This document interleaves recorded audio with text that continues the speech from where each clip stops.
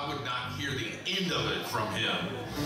Because he was like all about, no, you gotta know the lyrics.